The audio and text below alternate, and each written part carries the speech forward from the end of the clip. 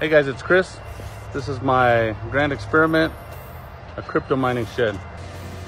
All right, here it is. Those are air vents, filtered air vents, so we can try to keep the air quality in there clean. We change out those uh, filters periodically. We'll go this way first.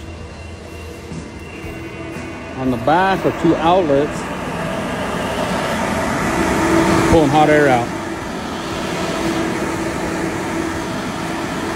Big fans in there pulling hot air out of the back side of this guy. That's an air conditioner, probably worthless, but in the summer, if it gets too hot, that thing can kick on with a thermostat to try to keep the temperature manageable inside there. Electricity going in. Got three phase going into this thing. Those are all 220 plugs down there. Each one of them runs these power strips the power of the miners. An internet, a switch so it's scalable. That's the control for the fan.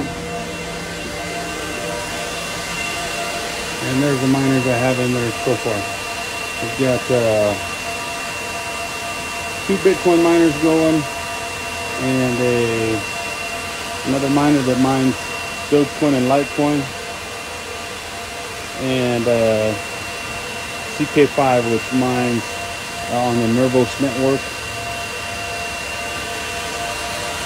There's the air inlets, an extra shelf for different when I am able to scale up. A nice little light in there.